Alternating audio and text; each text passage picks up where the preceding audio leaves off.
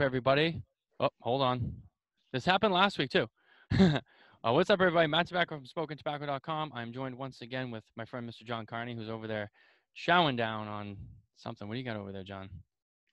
I'm eating filet mignon topped with grilled pancetta, Ooh. and I've got a side of Brussels sprouts with balsamic glaze, um, grated Parmesan cheese, diced pancetta, onions. It's awesome. I'm starving. It's the only thing I've eaten today. I forgot to eat. You only eat on a cutting board? Is that really like your thing? You just eat on a cutting board?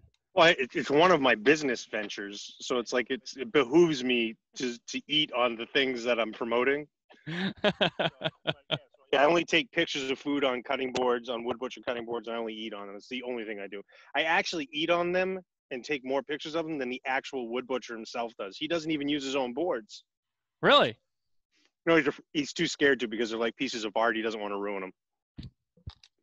Well, I guess that makes sense. Well, we have two people with us. Uh, one of them is going to be a show mainstay, and one of them is a special guest. So, first, I just wanted to take a moment to announce that we have Smoke and Nicole uh, making her debut in the producing chair tonight. Even though I'm kind of doing the controls for right now, she will be doing the producing of the show going forward. And so she is here with us. And we also have our special guest, Carrie Simpson, is joining us. Uh, cigar smoker, smokes a lot of cigars. I think at one point she smoked more than me. I might have surpassed her now. Uh, and Carrie, you might have to unmute yourself now. Now that we uh, we're into the, if she can find it there. Actually, wait. Uh, Ah, there you go. there we go. What's up, Carrie? Oh, thanks for inviting me. What are you uh, What are you smoking over there? I don't know how to pronounce it. Can't even read that. How do you pronounce it, Tim? Is this Oh, something Said, gee. Sh- Shugui? I've Dos always, 77? Jon? Do you know that one? I don't know that one. yeah, I pronounce it with the hard H, chogi. Chogi? Uh, This is one of the first boxes that I bought maybe like six, five years ago. Mhm. And I didn't like them when I bought them. So they ended up being a, a giveaway. Uh, but I was getting down to the uh, dregs of my travel humidor during quarantine. Pulled one out because I keep a bunch of the ones that I don't like so I can give them to people that might like them. And uh, tried this one and it aged beautifully. Yeah, that's the thing. You know, aging cigars, and that's something you know. You know, we talk about on here, and a lot of people talk about. Uh, you know, is you know when you go into a cigar shop and you buy a box of cigars, you know, there's certain brands, you know, that are more notoriously, you know, better for aging than others. Even though all cigars really are good for aging. You know, you buy a box, you maybe you smoke one, you see how it tastes, throw it back in the humidor, let it sit six months, a year, two years and you'll notice the flavor profiles change and, and sometimes they get better and sometimes they get worse but usually they get better as they continue to age and um, they go through a whole process and so you know yeah sometimes you know you I, I have that i've had i've had i've been in that same spot you know i'll go into one of my cabinets and i'll pull a box out and i'll be like i didn't even know i had this i'm like how long Oh, I have I have uh, two coolers in Winnipeg and two coolers in Las Vegas, and then a 40 count that I travel around with. And every time I go in between countries, it's like, oh, oh, I forgot I had that. I forgot I had that. I forgot. There's boxes I haven't even opened yet. Yeah Yeah, i've definitely i've been there myself and i um I, I like rediscover stuff and i'm like ooh what is this and then now it's been aging for like a year and a half so now it's even better than and i'm like i smoke it again i'm like i don't think i like this and then i'm like it's not bad actually like i really like this but you know it, it sat for a year and a half since i smoked it the first time so Mm. those things can definitely happen. But um, aside from smoking cigars, you uh, you're actually not in the cigar industry as a professional. You have your own businesses. So why don't you tell us a little bit about that? I own a telemarketing agency that supports technology manufacturers, distributors, and resellers. So companies hire us to do their outbound prospecting or to invite people to events. We're doing a lot of invitations to virtual events now since there hasn't been any physical events for a while. Right. Um, so, I mean, we did pretty well through the pandemic because everybody that had budgeted for live events now didn't have that um, channel for developing new leads, and they weren't. Um, I mean, you can't really hire a, a telemarketing team, train them, and roll them out remotely when you've never had an, an outbound sales team before. So we uh, we lost about 50% of our revenue kind of like month one and then we're we're not back up to where we would have been but we're we're doing pretty good i'm pretty grateful That's it's good. been uh, it's I been a long three months though Yeah, it's one of those things. You know, everyone's kind of dealing with it in their own special way. You know, obviously we talked a lot about how the cigar industry has been affected. You know, Jon, um, in case you, I don't know how much you talk with Jon, but so Jon is from La Flor Dominicana. He is the vice president of sales. Um, so you know, as someone in his position, you know, with a, with a major manufacturer, uh, you know, having to lay off a lot of staff. You know, shut down their factory. The, you know, the box factory is shut down. So you know now you're you're seeing some La Flor Dominicana stuff arrive in shops in bundles because the box factories are not open. They can't make boxes for these cigars. Um, so and how does that affect everything jon like are people less inclined to purchase a box of cigars when they show up in a bundle It's a really good question uh, because some of the retail retail partnerships we have, um, now all of our retailers have been very understanding of it. Unfortunately, we have a product that's in very high demand, and we've done quite well in comparison to other companies in the industry during this. But uh, yeah, there's some products that I would say that a consumer would be averse to not buying in a box one of the examples is like an everyday cigar smoker will buy it if it's not in a box but if you're buying something for a gift um, something a little higher end uh, you know that i've had you know some people said hey i'll, take these andalusian bulls if they're in boxes uh, because i have somebody that wants them as a gift but if they're not in boxes you know the bundles that they're coming in i'll, I'll just fill them in the box. But they somebody wanted them specifically for a gift. Um, but it hasn't been too much of an impact. It's, it's a temporary thing. It's really only been about two months. And then some of it um, you know, some of it was some things have still been coming in boxes since we have them. Uh, so there's just a few higher end items and some more high volume SKUs. But no, there's there's been some pushback, but not really. Uh, as I said, it, it, most of the people just want to smoke a cigar, and if it, the quality's there, it's really about the cigar, not about the box. And Mm. fortunately for us, most of our boxes aren't very ornate. Um, so I've, I've had to, I've been able to have a good line with people you know, there's just really not a lot of, it's nominal, the cost of our boxes. It's, you know, it's a little thin box. It's not a humidor or anything like that. So it's been good, but yeah, there's been some pushback and obviously on a long-term basis, if it were to go on much further, which it's not now, which is great. Um, we would look at that a little differently, but, uh, but fortunately, you know, knock on wood on my wood block. Uh, fortunately, it's been pretty smooth. yeah, i know i do like the elaborate unboxing of the uh the fancier labels like that opus um mine, my stuff that I did. Yeah, like- yeah. probably not going to buy a lot of opus if you don't have it in a box. Part of that's the pomp and circumstance around it, and we have cigars similar to that as well. Uh, you know, where there's items where people are like, yeah, I'm not going to take that if it's not in the box. Like part of the bo- part of the deal with that is people want the box and to open it and feel special. But somebody, you know, smoking an everyday cigar uh, for them, if it's their everyday smoke, a real niche market, uh, they really don't care if it's in a box or not. Yeah, I mean, I I would agree. I think there's, I think there are especially certain brands like Opus X, like the Andalusian Bull. I mean, even like the La Volcada. Like if you, you know, if I mean, I guess if I really wanted them, I would buy them in a bundle. But I like that whole like you buy the box. It's the Like, have- don't you have enough boxes at home now? Like, just buy them in a bundle, put them back in a box. You're fine. I mean, I have it in like a display cabinet, so for me, it's like I want to put the boxes on display. But yeah, I mean, if you if you have to, you have to. But I can understand like how some I can understand both sides of the coin where some people want that box because it's special to them, or they want to display it in their cabinet or whatever. Or there's people who maybe don't have that, and they're like, well, I'm gonna stuff it into a box humidor anyway. So, um, yeah, I mean, it's kind of personal preference, I guess. But yeah, I mean, I like I like I said last week's show, you know, I was in a cigar shop and I saw on the counter uh, Andalusian Bulls and a cellophane bundle, and I was like, never seen that before. and it was I've only bought those in single sticks anyway. really.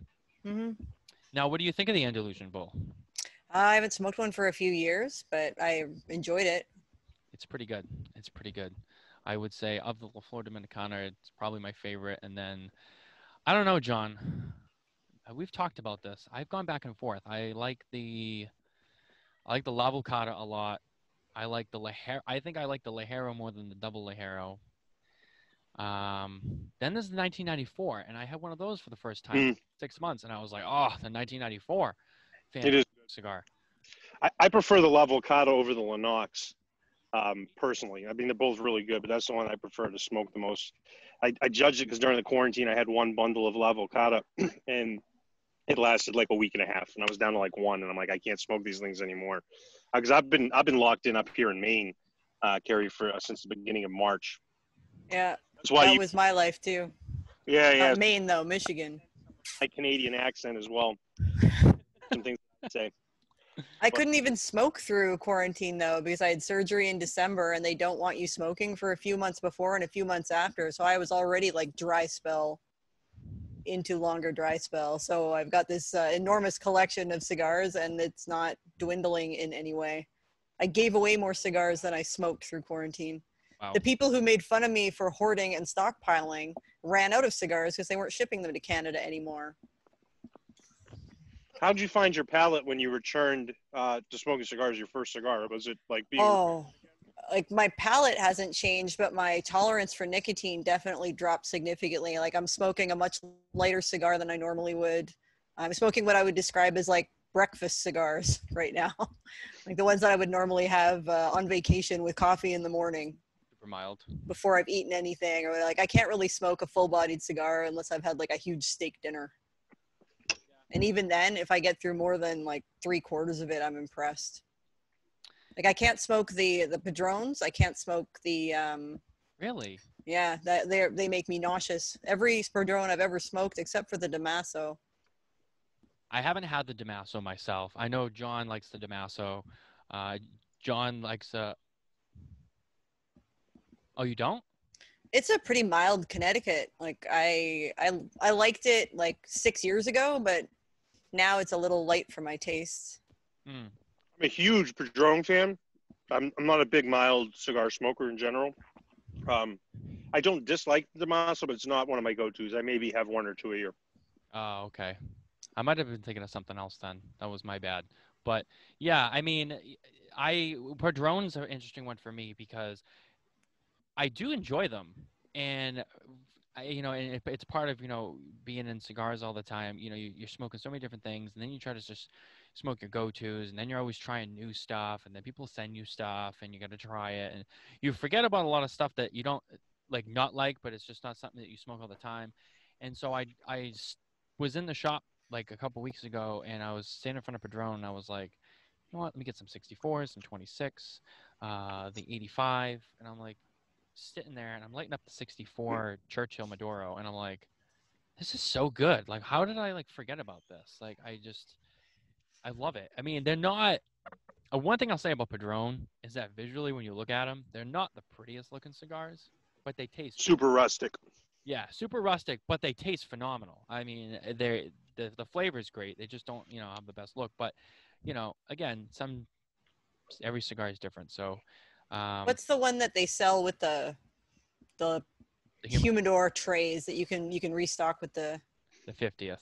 Yeah, So that that one, I bought those um, at an event. Uh, one of the one of the stores I go to in Phoenix had a bunch of them. I guess if people already have them stocked, they sell them back to the hmm retailer. So I bought some. I bought two for uh, a celebration with a new client. I made about a quarter, not even a quarter way into that stick, and I was like, I had to leave. I was green, and I was like trying to be super cool about it, but I was like, I was trying to like sugar, like discreetly, like don't throw up, don't throw up. Oh God, okay, I got to go. So that night was ruined. What would you say? I know you have a lot of different stuff, but what would you say like your top three like go to brands are? Like your Like everyday smokes. just like every day doesn't matter. Just you smoke them like all the time. Uh, the Room 101. Um, not the farce, although I do like the farce that just came out. The one that came out before that, the Hit and Run. Yes, the mild. So that's one of my go-tos. Um, I like the archetype, and I know like they don't have a, a an Instagram or anything. The the archetype. Um, do you remember what they're called? I think I know what you're talking about. They're uh, they have like a little pyramid Um, but I don't know who actually makes them. To me, Um, by a company called uh, Phillips and King, I believe. no, those are nice. I like those. Uh, I'm a big uh, Caldwell fangirl, so I usually buy any of the releases that come out there, and I like the I like that they're collaborating with Mm. other people now. So I, I usually buy whatever you know limited edition thing they put out, and then I forget about it and come back to it later. so there, um, I like the Eastern Standard. okay. Um, we're still I like like the Ashton Cabinet. Always been a big fan. Really, And I always took you as like really like, and a lot of stuff you are saying is like really boutiquey, but I, I always took you as more of a solid boutique smoker. But Ashton, I don't, I don't know why. I just don't picture you as an Ashton smoker, but uh, good cigars. I mean, Ashton Cabinet. well, we started with the um, like we started with the basic stuff, like the lower end. We first box I ever bought, I think, was the American Kick-Ass Connecticut, Mhm. and then the CLE. Uh, the Camacho Connecticut I liked when I started. That was a go-to for a while. Mhm. and then my palate matured a little bit and i moved on to trying other things when i i went to um, lone wolf in santa monica lone wolf is that what it's called um, that was like the first like fancier cigar store that i'd gone to and i didn't realize that california taxed the sh- shit out of you so i spent way too much in california buying cigars i would not do that again but the um the owner there i was like oh i don't like maduros i don't like this i don't like that and he's like well why don't you like them? I'm like well every time i smoke one i feel sick. And he said well don't blame the cigar carrie like you're like you need to explore a little bit and you need to make like eat this and have something sweet and he was just like kind of took me on a tutorial of how to you know prevent that from happening and then suggested a bunch of things and like $3000 later i'm walking out of that store with uh, some really nice stuff yeah.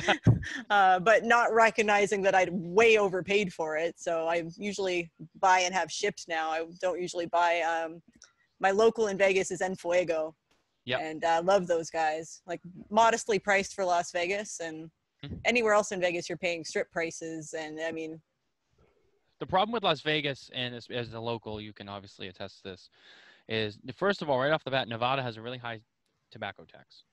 Um, you know, it's a it's it's a tourist-driven state, really, for the most part. You have you know Las Vegas, you have Reno, and uh, their their tobacco tax is high. Uh, and then, like you said, you go on the strip and you go to any of the Davidoffs, you go to the Monte Cristo, you go to Ca- Casa Fuente, which you know I, I'm a Fuente guy. I love Fuente, but you go to Casa Fuente, and you know you're paying fifty dollars for a Reserva d'Chateau Opus X. I mean, or maybe more. I mean, it's it's pricey, but you know you're paying for. You're in Las Vegas. You're in Caesar's Palace at the Fuente store, and it's not even like that. Like as far as like a nice place to sit and smoke, it's like sitting in a shopping mall smoking. I'm not a huge fan of. Uh, I don't mind buying and wandering. I love that you can smoke everywhere in Vegas, but if I had to choose, I'd go hit up the Davidoff outside Fashion Show Mall because they've got that beautiful round patio. Mhm. Um, and I'm not like a huge Davidoff fan. I buy most of their um, like year of the releases, and then the the boxes that you can only get in certain cities. So I collected those for a little while. yeah. They're not my favorites, but they're like they're a solid cigar, and you can buy them everywhere, and they're consistent. So whether we're in Japan or Las Vegas, you can buy the same sticks, and you know what you're getting, and it's not it's reliable. Have you ever been to uh, what's the one at the Mirage? Is it the the Rhumbar? Have you been? Oh, there? Rhumbar is a fabulous place to smoke. That's like one of the best people watching. Yeah. Lay back, enjoy everything. Like beautiful couches. You watch the game, and then people just wander up and down the strip in front of you. Mhm. Drinks are solid. Um, they're they don't stock many cigars though. Like they might have eight on the menu, like all marked up about fifty percent. But you can bring your own sticks there. Okay. Yeah, I don't. I think I might have wandered in there once, but I don't think I've really hung out in there. Um, but it's it's definitely on the list. You know, next time I'm in town. Um, The Chandelier Bar at the Cosmo, like it's love that place. one of the nicest places to sit and smoke. I know the Cosmo, like as as a whole, is like one of your favorite places in the whole city to be. Uh, Mhm. So yeah, that I uh, I definitely got to hang out there some more when I'm when I'm back in town. But uh, yeah, I mean, Vegas is definitely a cigar city. It's a cool place to go if you're a cigar smoker. They're getting a little more strict about it though. Like you used to be able to smoke everywhere, and now they're limiting it to um, even the patio at Lavo wouldn't allow it last time we were there. So the clubs, uh, um, I mean, not that there's any clubs open right now, but you can't smoke inside of a nightclub anymore. You have to go out by the pool, Hmm. which is nice, except that normally, like, the main stage is inside the club. So if you've got a table or something there, um, you've got to like go out, and if the bar's at capacity, they're not letting you back in. So you're kind of like, oh, stuck there. Yeah, that's definitely not as you know. That's, that doesn't make for a good time. Uh, you can still smoke in Atlanta at all the clubs, and I like that. oh, really? See, I Yeah. haven't been to Atlanta yet, and I, I keep hearing a lot of good cigar related things about Atlanta. Um, actually, Jon, I think aren't you going to Atlanta soon? Magic City. I was supposed to go tomorrow, and then the governor declared a state of emergency, and they activated the, the National Guard in in Atlanta. And the conference I was going to was right downtown, so I'm just going to do it virtual. Uh, but I'm in Atlanta. Traditionally, I'm in Atlanta five or six times a year. Uh, but there are some great cigar lounges and there's some great cigar clubs, and you can smoke everywhere. And they got a really, really unique cigar culture in that city. Um, so I, I got some good friends that I do some, you know, we partner on some programs things there. So, but no, Atlanta's a blast. Doesn't our new quarterback in uh, New England have a, a cigar bar in Atlanta? I? Yeah, Cam Newton. It's called uh, Fellaship. We actually did a did a function with them during the Super Bowl this past year. Oh, okay, nice. Oh yeah, that's when. Beautiful place. Yeah. Cam's, Cam's a big cigar smoker. Yeah, I had I had heard that, uh, and I remember when you guys were all down in Miami during the Super Bowl. I remember Dave, Dave Garofalo, uh, he took that photo with Cam Newton. I thought that was cool. Uh, and then now here he is. Now he's playing in New England. So, you know, we, uh, which you know we've been talking about, and you know we're not really uh, talking football right now on the show, but you know we have been talking about it. We are excited. I think the Patriots just uh, posted like their little, you know, welcome to New England thing with Cam Newton like photoshopped in the jersey. So it's Yeah, they definitely posted that and all of his merchandise. So you can buy a Patriots Cam Newton jersey now. Is yeah, that- they got the first 40 items on the, the pro shop. I got the email this morning are all Cam Newton things. Did you order your Patriots Cam Newton jersey yet? I'm not buying a jersey. I'm going to do a, uh, like those three quarter, you know, like those baseball, old school baseball shirts, those like three quarter sleeve shirts. Yeah, yeah. So I'm going to do one of those. It's a t-shirt and it's got Patriots on the front, Newton on the back, and it's got blue sleeves, white, white body. So I'm going to do that. I'm not going to get in Uh, more than one year. I'll definitely buy a jersey. Yeah, I uh I'm definitely I'm excited to just see see that whole thing play out. And I I saw someone today actually I was on Facebook and I saw someone post that they had just received in the mail their Tampa Bay Buccaneers Tom Brady jersey, and I was like, oh, okay, so we are now at that stage where we have to watch this happen. But you know what? He's not here anymore, so we've we've moved on. Yeah, I may very well buy a Brady Tampa Bay jersey though, just just for the sake. Because I mean, I'm a Brady fan, a Patriots fan first, Brady second. all right, enough. Somebody doesn't like Tom Brady or someone doesn't like football. Uh, yeah, no. I have no idea what you're talking about. You have to talk about football when you invite a guest who likes football. Carrie's really to the point. She uh she's got some fire. It's one of the things I like about Carrie. Hey, let it be known that Matt brought it up. I did. It's my fault. You can you can punish me, but um We do have a couple exciting things happening on the show today. We have a soap review.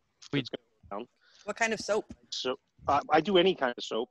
Uh, today I have a soap that was handmade, and we'll get we'll we'll get into that when I do the soap review. I'm I'm making sure I get real dirty over here, so we can test it. But we got a soap review going on today, so that's a good time. Um, it's something fun uh, that I got into when the quarantine before the quarantine started and the corona was going on. In my travels, I would do uh, live soap reviews from airports, uh, review different soaps. Uh, terminal, I think it's D35 uh, or D42 in uh, in JFK's got the best soap I've ever used in my life. It's, it was transcendent experience.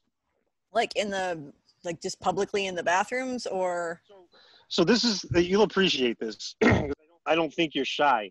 Um, so I was I was doing them when I was walking around. I was like, oh, I'm going to do the soap review, blah blah blah. And I got I was getting given tips. Like people were giving me tips on where to go check the soaps out.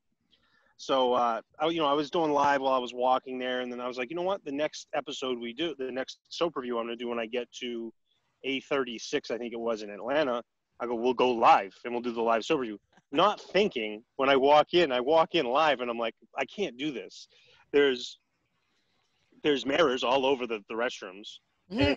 Urinals on one side, people exposing themselves on the other, and then you got mirrors all over the place. I'm like, I can't go into a live soap review with a bunch of urinals behind me in the busiest airport in the world. So I started doing the soap reviews after uh, leaving the restroom. You can go into the family, uh, the family, like the single stall ones, the ones where you can change your baby or, you know, Good point, Karen. hook up. They have different types of soap, uh, which is what I've found. So there's like you know, in Dallas Fort Worth, at baggage claim 15, the men's restroom has three sinks. The first two sinks, one and two, have different soap dispensers than soap and the uh, than sink three. And sink three soap dispenser is the second best soap that I've ever used. The uh, Delta lounges have a nice uh, series of soaps. What's that brand? It's that blank and blank. Malin and Goetz or something like that. It's like white and then the letter block letters with a plus on it. hmm Yeah, that's good soap, and they have the hand lotion. I am a fan of the Devine soap at the W. Like I stay at the W now just for their toiletries. So add that one. I'll mail you some. I have a stockpile of them. I, yeah, we'll do it. So it's called Devine. Davines. It's an Italian brand. Um, just they make great products, and I found them through the W. So that was pretty decent marketing when you think about. I assume they must. There must be some sort of concession for a hotel to carry a particular brand of soap. Yeah, I'm but- sure contracts. Yeah. I feel like I spend four hundred dollars a night on the room, but I get about hundred dollars worth of product every night. Just put it in my suitcase. By the time I come home, I have like ten pounds of luggage when I leave and fifty when I come back. Before he was president, I stayed at uh, the Trump in Las Vegas, and just because I wanted to see what their service was like and their gyms and whatnot, and they had incredible toiletries too. Like they gave you like an entire bottle of hand like like hand lotion. I brought back like four full size bottles of hand lotion. Uh, that the, the the conditioner was like some of the best conditioners. It's fun when you find something nice like that, and it does make a difference. Like you know, it's like the pillows on the bed. Like if you're gonna go in and you're gonna give you good stuff, you're gonna use it and appreciate it. hmm So, Carrie, I, I do I take it that you you also are kind of a soap expert, e- like specific to traveling? I don't know that I'm a soap expert. I uh, I'm a hotel expert, mostly because I'm difficult. Like it takes so little to turn a like mediocre hotel into a great stay. I don't know why the like cheaper Hiltons and Marriotts and whatever aren't just nice towels and nice toiletries makes a huge difference even if your shower is crap. Yeah. Usually I just travel with my own stuff now anyway. I found um I found a bar soap, like a bar brand where you like they have soaps and they have like a exfoliator, exfoliant and shampoo and conditioner. It's all in bar form. So I'm trying to get down to never checking a bag. So I prefer to like use a bar shampoo, use a bar conditioner. Hmm. And it's called Ecologic or something. I found it on Amazon.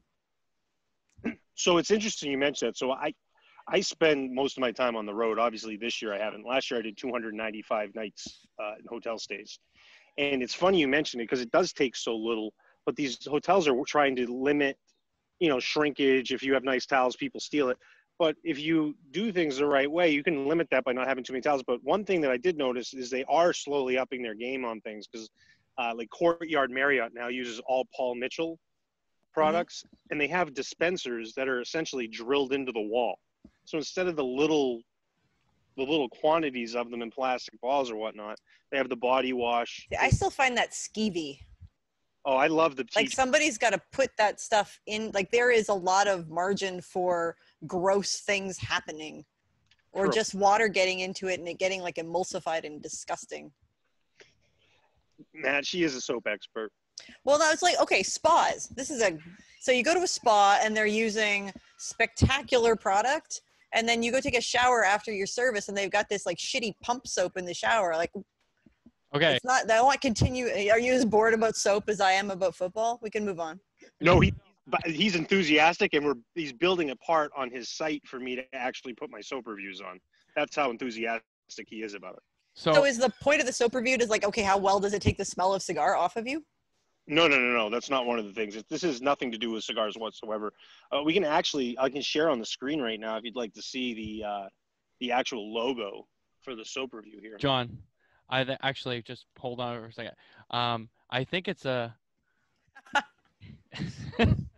So basically, there's, there's two things I need to say. So, Carrie, welcome to the show. This is what we do. It is we do talk cigars and we smoke on the on the show, but it's a little bit of a variety, and it's just kind of like anything goes. So, yeah, somehow we just started doing John's soap reviews, and we love it, and people love it. So, How do you monetize that? you? Um, We- Affiliate Yeah. marketing? John, you want to pick up on that? so so far it started off as as part of my online LFD persona essentially. So it was part of my LFD account, and I just stopped because I wasn't traveling. You know, I I started doing this at the end of February, early March. So I maybe got five or six reviews in, and uh, and then as a joke, Matt had sent me a bar like holiday soap that he picked up. Sent it with me with like some smoking tobacco stuff, and he's like, "Hey, I want you to review the soap." So I held on to it. So like two weeks ago, we finally did a soap review on it. And he's like, "Hey, he's like, you want to keep doing those? Do people like them? Because they are funny. It's it's you know it's hilarious. To, uh, the whole thing, even if you, I take it very serious, but it's just ridiculous to listen to someone talk about soap, how it feels on your hands and whatnot. And uh, so yeah, we started going in. So I, I think the way to, I don't see anybody doing live soap reviews, and I'm sure that it's there or whatever, uh, but it's not like a mainstream thing. It's kind of a you know it's you know it's kind of a if you're into it, you're into it. Um, so I think I kind of brought it to the cigar people, and they were they were into it because it was something different. And then I said the amount that I travel, um, it was fun because I was always in different places, and so I, I don't really know how we're going to monetize it or if it ever gets monetized. I, I think for me, it's just been something that's fun and becomes part uh, something else that people want to maybe look and follow for the things that I do.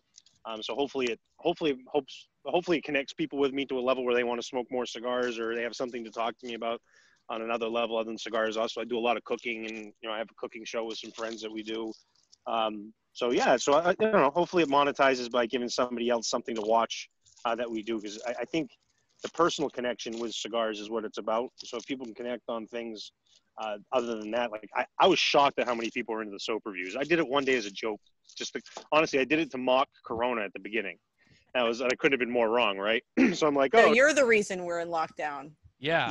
Yeah, the I- universe is punishing us because you made fun of the coronavirus. yeah, I'm like, oh, it's Corona time, and like the Corona time song, and I'm like, yeah, let's do this, and I'm like, oh, we're here, and I was talking about the people around. Funny though, the first thing I noticed uh, right in February and March, um, especially flying through Atlanta, which I'm, I think you maybe you're a Delta, you sound like you're a Delta girl. Yeah. Yeah, so you fly through Atlanta quite a bit, and you fly through these hubs, and the thing I noticed the most early March uh, was there was just no there was no Chinese around, none. It was to an to an untrained traveler, you wouldn't notice anything different. But I was first thing in March. I'm like I'm flying through JFK doing a soap review, and the first thing out of my head was there's like no Chinese. There's just none.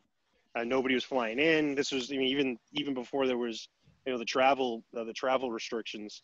Uh, there just there was a decline in it. You could notice it, but so yeah, so I was doing the soap reviews, and I was shocked at how many people liked it. I was just like, they're like, oh, this is awesome, this is hilarious. You got to keep doing it. And uh, and then the quarantine happened, and I started drinking boxed wine, and the soap just stopped washing and bathing, and it was that was it. So, Carrie, So, question though, at what point do you chuck the bar of soap? Are you using it right down to the bottom, or like does it get to a sliver and then you just chuck it in the garbage and open a new one?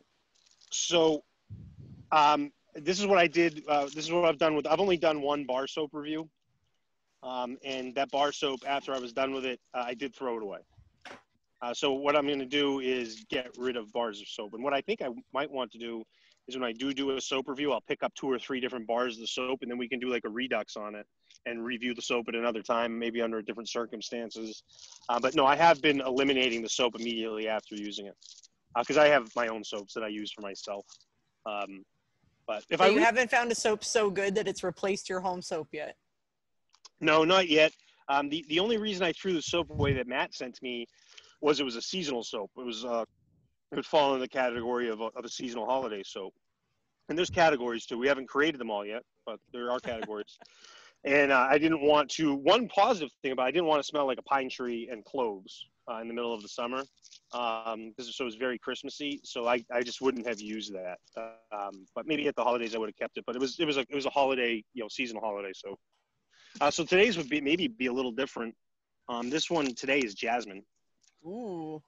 So, John, really quickly, I wanted to, um, before we get too far off of the segment, because I think it's a great way to to bring her in, is because Carrie had mentioned spas, and her experience. So, Ca- Carrie, do you do you spend a lot of time in spas? Do you go to get a lot of spa treatment? No, I don't really enjoy massages and I'm not really good at making and keeping appointments. And I travel, uh, you know, as much as, well, I did travel as much as John did. So it's, you know, you've only got a finite period of time in each place. And I usually don't have four hours to go and, like, I like to go to the spa if they've got like a nice um, wet area, like the sauna. Um, there's some spas in Vegas that have like n- like huge hot tubs, but like the one at the Aria, they've got a huge hot tub that's the size of a pool up on a balcony and you go there and it's surrounded by foliage so you can't actually tell like you can't even tell where you are in the world at that point it's Hmm. beautiful uh, but then on saturdays uh, they turn on the day club at marquee and it all goes to shit i took my mother there for mother's day and like we just listened to oonts oonts oonts oonts the whole time we were at the spa so it wasn't a, a great experience but So I think it's a good time to bring in Nicole because Nicole actually is joining us here at Smoking Tobacco, and she's going to be kind of joining us on the show. And Nicole actually runs. There she is. Uh, Nicole actually runs an Equinox spa at the Ritz Carlton in Boston. So, oh, I I, love the ritz-carlton so I just thought it was a great opportunity to just have her chime in a little bit, and you might have to unmute yourself over there. There you go. I mean, I didn't have too much to say, but they do change those rose bottles you were talking about out. So Ritz Carlton changed their product line. They went from um, oh one that I really liked to a different one.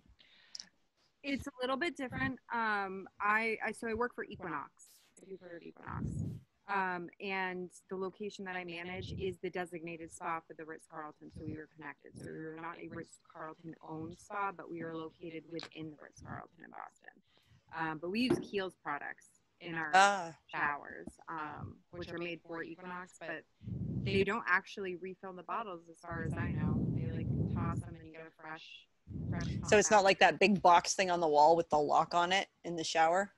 They have them because people. It's a gym, and even though it's two hundred or three hundred dollars a month, people do walk off of them.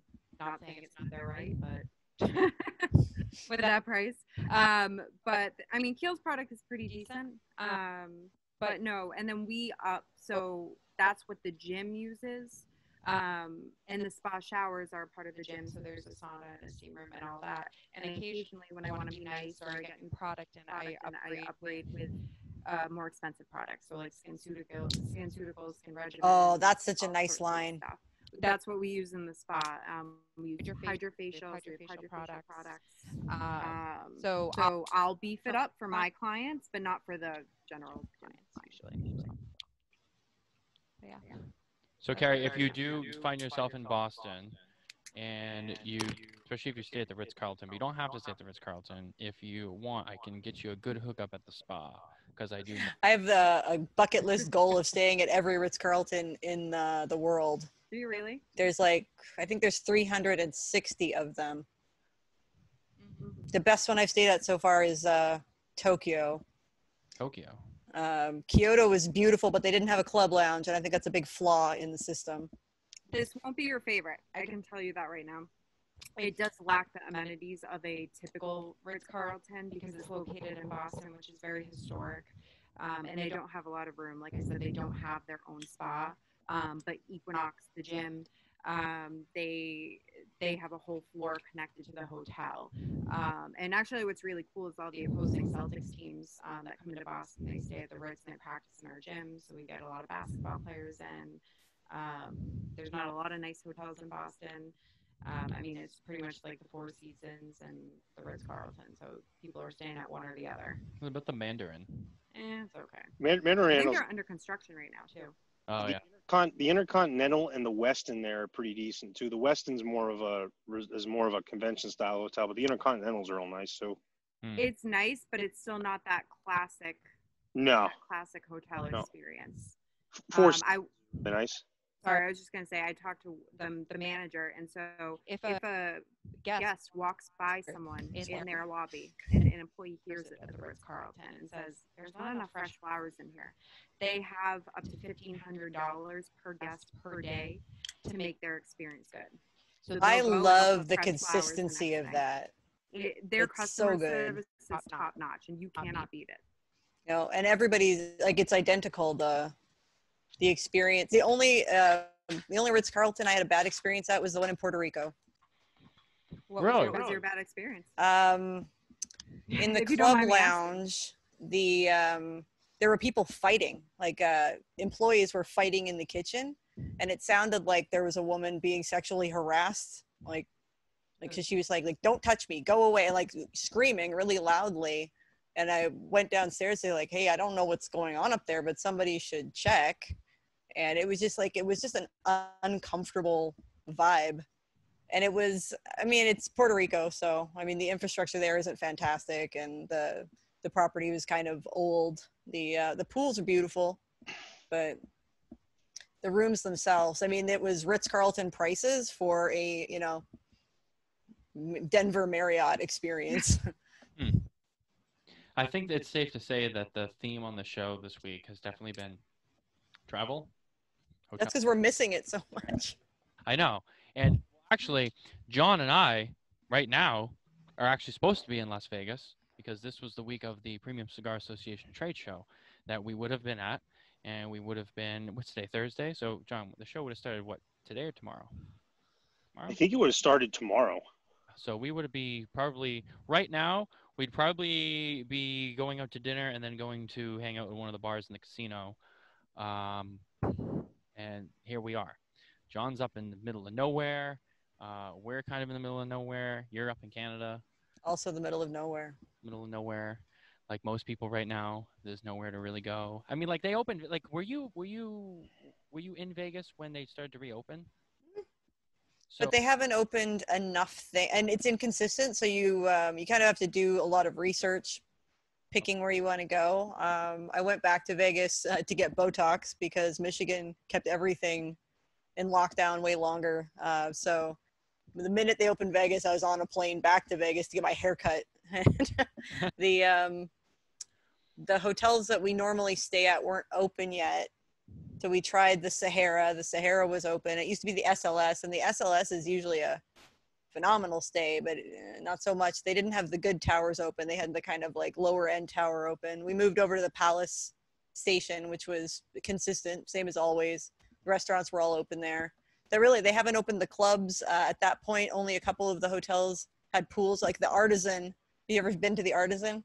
I haven't been there myself. No. it's uh it's rough but the uh they have a european style pool there and it was the only pool the only hotel pool open in vegas so we booked there just so we could use the pool. They were only letting guests in. And we have a, a an apartment across the street from it so we just got the room so we could go hang out at the pool. But they uh like you couldn't there were no restaurant like you couldn't eat on site. You couldn't um the rooms weren't being cleaned. So right now, uh, we've I've been to a couple of cities through the pandemic just for work, and uh, I mean the hotels are charging the same rates, but there's nothing open. So we went to the W in uh, L.A. in Bever- Beverly Hills or Hollywood, um, and the the pool was open, but you couldn't you couldn't even get a cup of coffee on site unless you ordered it through room service. So Yeah, so they're being a little bit more. They're obviously being a lot more strict. Um, I remember seeing some one of the hotels I follow on Facebook posted that they did they they sterilized all their rooms and then they they like put some sort of seal on the door so when you check in you go to your room it's supposed to be like no one's been in there since it was cleaned and but then I was curious like so you have someone staying in there for four nights and then did they still have room service come in every day and clean the room or like are they no so they wait housekeeping uh, isn't supposed to go in there while you're occupying the room. So after you check out is when they clean it. Yeah. Okay. So if you if you're staying for a week, you know you they'll bring you the towels and the sheets and the whatever, but you have to make your own bed. And you're like, if I wanted to make my own bed, I'd be at home. Yeah. Um. And now in terms of uh, sorry, there's a moth over here that's just like out to get me right now. Um. Now in terms of like the casinos, like how like uh, like people playing casino games, like how how is that? Uh, at Palace, the place was pretty busy.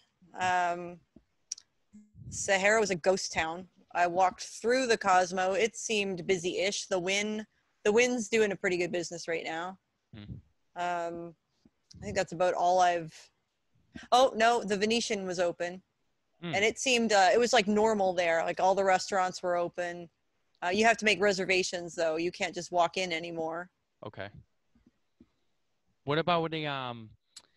Do they have like plexiglass at all the table games so you can't be like too close to the dealer? Like, Yeah, they did at some of the some of the hotels had the the stuff up, mm, uh, but they didn't have them. It wasn't like a peep show booth or anything. They just have like a a round like a thing that goes, I suppose, to protect the dealer from your filthy, filthy face. yeah. But it didn't it didn't take away from the aesthetic. Like they they did a nice job of, and a lot of the hotels when they had to shut down renovated, so they're like nice new rooms, beautiful spaces. They uh they took the um, the volcano out of the Mirage, so that's gone.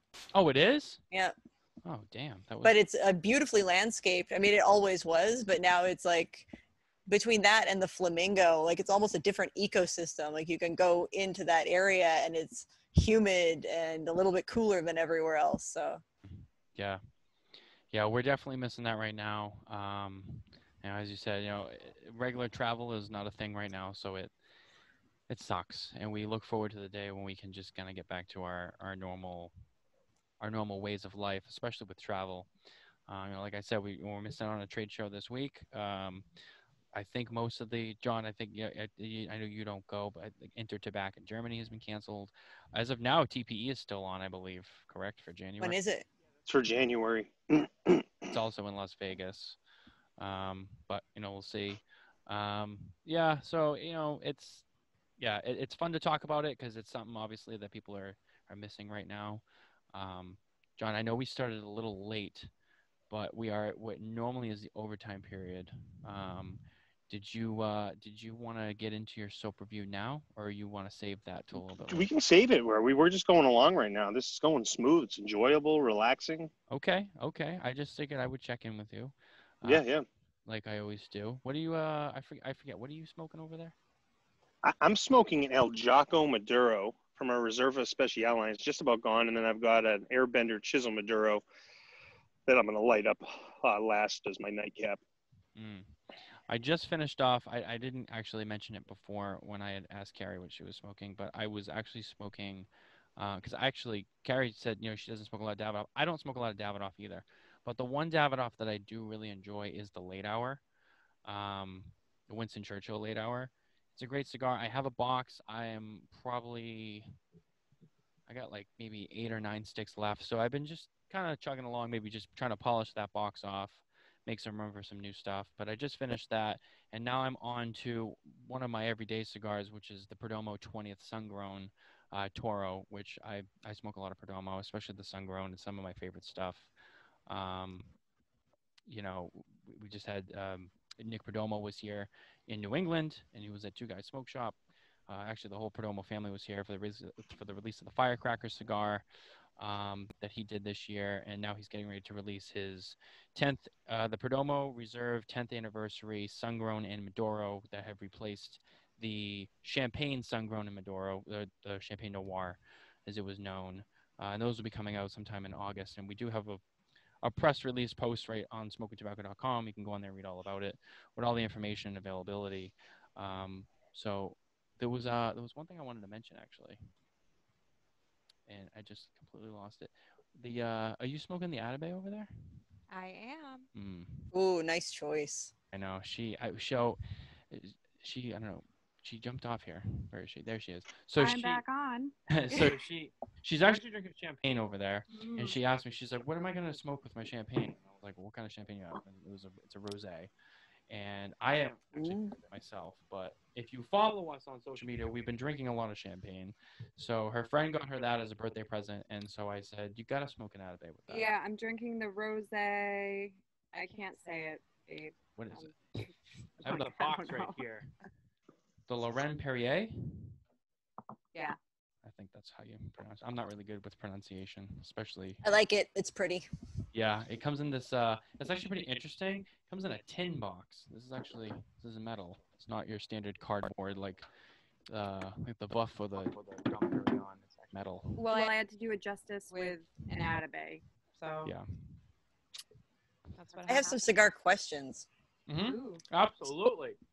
So I have uh I usually buy if I if I haven't tried something yet, I'll buy single sticks. Usually I'll buy like a handful of them and they end up in my coolers and I just have them kind of flopping around in like Tupperware containers. Okay. Um, but I'm noticing like as they bump up against each other, they're chipping a little bit. Like how do you store single sticks if you don't have a, you know, I, I can't seem to keep the humidity in my, I've got like a, a hundred count or 200 count, like glass top that I've never been able to keep it, um, stable. So I just went with the coolers because I'm not really around all that much to babysit my cigars. When you what do you do to keep them from? when you say coolers, are you talking about like the the like the uh like the wine cooler type humidors? No, just like Or like a big like marine coolers. oh like a like a plastic tub kind of container. Yeah, and I throw the big bovedas in there and just So leave them. for me, I don't have a lot of experience with that. Um, I would say number one, the biggest thing with any kind of humidity control is you want to have a good seal because obviously the idea is to keep that humidity inside the environment. So if you're having a hard time with the humidity, you might be. Are you are you usually running? Know, I had a problem with humidity with the humidor. So the the cooler is like the humidity stays pretty stable as long as I'm not opening. Like in Vegas, especially, you can't just open and close and open. Like you have to just leave them. Right. um, but I've found like the the the sticks are like just the foot of them or whatever is getting um, chipped is the only way I can describe it. Like little bits of the wrapper are kind of rubbing off on them. It's like they're banging up against each other. Right around Yeah. Wrapper, it just starts to chip. Um, yeah, I mean, I'd have to see. I, I mean, I'd have to see exactly how they're being stored. But uh, if they're cellophane, number one, if they're cellophane cigars, usually it's better because that cellophane acts like a barrier. If they're the uncell, like especially so, I, I assume maybe you could be talking about not necessarily, but is it more so with a lot of Cuban cigars? No, I keep the Cubans in like a um, a travel humidor with the the squishy stuff in the like. They, I don't have a huge Cuban selection. It's not like I've got a cooler full of them. I maybe have a couple of boxes stockpiled from you know, early purchases. The Cubans in my like I like Cuban cigars okay, but I usually they're usually client gifts because you can't get them in the U.S. and uh, people seem to like them. But for my money, for the same price, there's I think there's better like this. I'd rather buy a Sampere than a Cuban cigar any day. Right. Yeah, I was I was actually gonna uh, deflect this one over to John and get his opinion because I was curious, but uh, I don't know if he I don't know, is he still with us. Uh, It looks He like looks a little frozen. he does look a little frozen. I'm not sure what happened there. Um, but yeah, so I would say if you use the tubs, as long as you have a good seal and you have the packs in there, that's good. In terms of them rubbing up and chipping on each other, that will happen. I would recommend. You said you have them like individually, like containered inside the tub. Yeah, well, I've got you know probably four big Tupperware containers just with single sticks in, and the ones I buy in the boxes I leave in the boxes. But I often don't know if I want to buy a box yet, so I'll buy some, and you know some to smoke right away, some to smoke later. Right. But now they're all jumbled up together, so every time I want to go choose something, I'm kind of like, okay, what's what's in what's this, what's this, and then.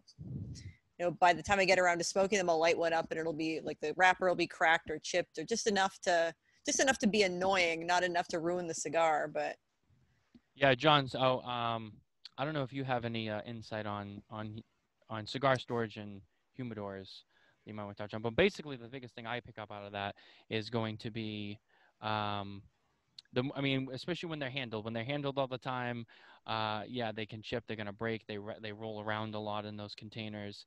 Um, that definitely is gonna cause that. So my biggest thing was I don't know I don't know why it's jumping over here. Sorry, I just. Uh... Oh, I thought I froze for a second. I'm sorry. Um, but no, yeah, I would say, like my experience, I have I have cabinets. I have a I have a smaller cabinet that I have all my singles in, and then they're in, all in drawers, and I just try to stack them. And then as I use them, I, I just I slide the drawer out, and I, I kind of pick. what I'm hearing is walk-in humidor. Walk-in humidor. Yeah, it's time to build a walk-in humidor. I'm I'm getting to that point. Uh, I do have I have I have uh, I have quite the collection now. But No, so I maybe I'm gonna need one. maybe some maybe someday when I have my own house, I will uh one like a closet size. Just walk in. I've actually seen some some ideas online. Uh, people actually build them in their house, but yeah, I would probably recommend that if you have the space.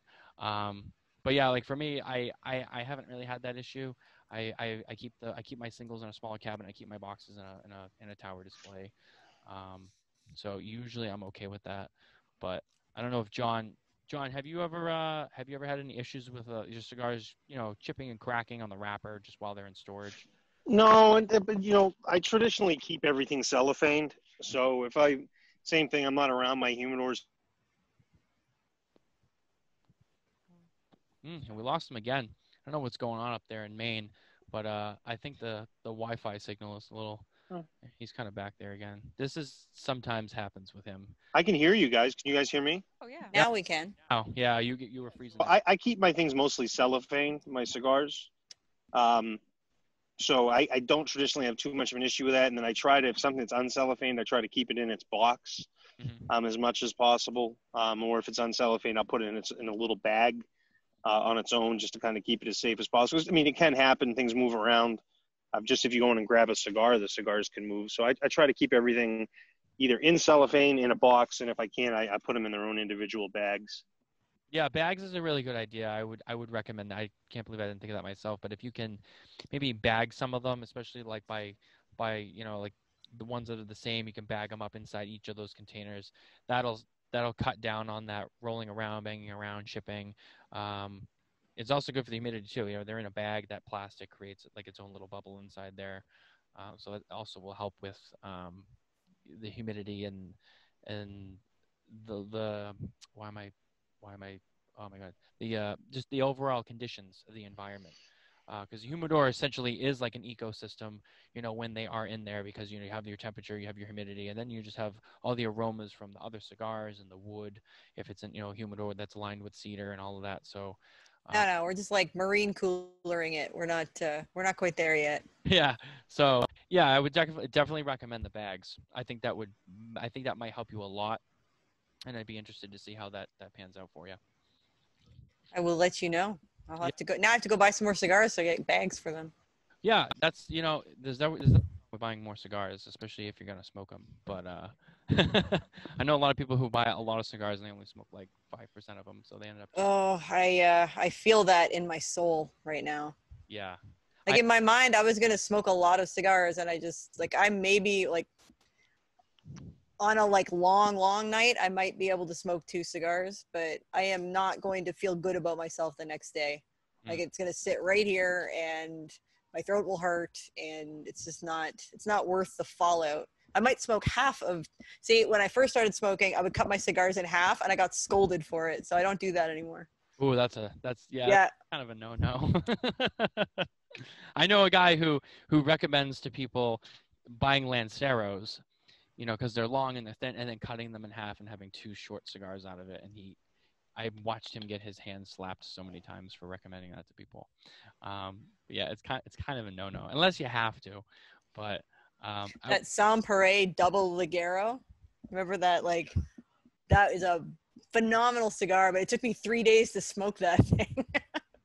Yeah, I have. I definitely have some. I have some long cigars myself. I actually have. Uh, what do I? I have Fuente A's. I have LFD Ligero A's. I have the Byron A, the Aristocratus line, which is phenomenal. Um, it's not quite an A. It's like eight and a half. A, a solid A is like nine, nine and a half inches. Um, so super long sticks. So, and I've been getting into those lately myself. Not sure why, but the really long smokes have just been intriguing and I've enjoyed them. I'm sure I'll get sick of them eventually, but I just I'm not there yet. Um, what I did notice as I look behind you on the wall, you have some Drew Estate swag. I do not. I am in someone else's smoking lounge, and he is a Drew Estate fan.